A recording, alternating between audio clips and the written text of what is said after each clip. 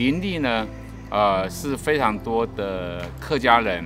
形容客家女性最常用到的一种描述方式。那我们当然从字面上面来看的话，哈，就是林地它就是非常的灵活，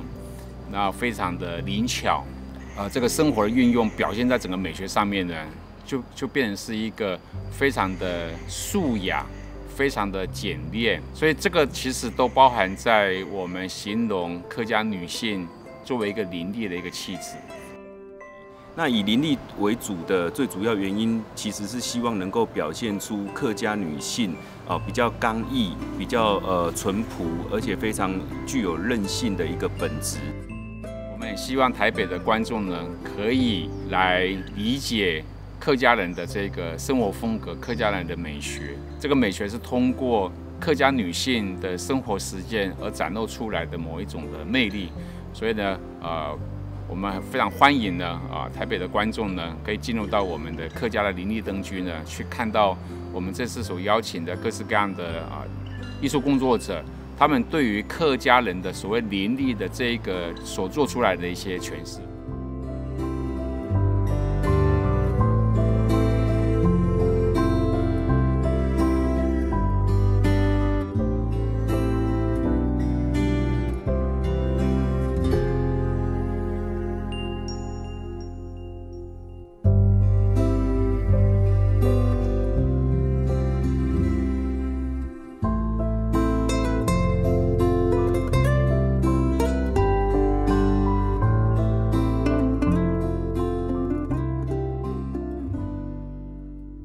这个呃作品在都市里的樱花布，啊，算是是把，因为客家的画布也是一个很全球有名的一个一个 IP 的，所以这次呢，我也把这个呃画布的这个印象去做一个很大面的这种投影的，也融入了我们这次客家灯会的不同艺术家里面的文呃的呃元素，加成变成我们这次呃的画布的一个动画。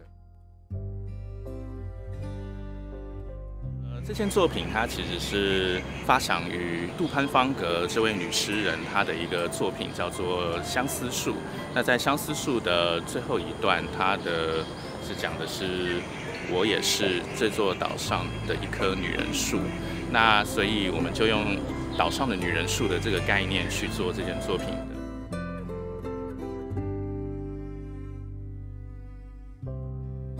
关于这次参加的这个作品，有一个系列是以李玉芳的这个《门红》这一首诗来做一个发想，所以我们就呃从诗里面提到的那个客家五福纸呢，然后就是剪了五组的这个图形，那可以看到就是根据五福图里面，它你刚刚说呃要代表“福”这个字，它就会有谐音，所以会用蝴蝶的这个概念。这个水是银河跟土地是光，这个作品其实最早是我一六年去金泽驻村时候的创作的起源。因为当时我在想说，我们在讲国界，在讲家乡这件事情，究竟什么是我的家乡？其实我后来的认知是，我现在站在的这块土地上就是我的家乡。所以我会希望大家看到这件作品的时候，就回想自己在这个移动的过程中，每一个你曾经在那边生活一天两天，或是几个月的地方，它都应该是你家乡的一份子。那你要爱惜的是这块土地上的每一件事物。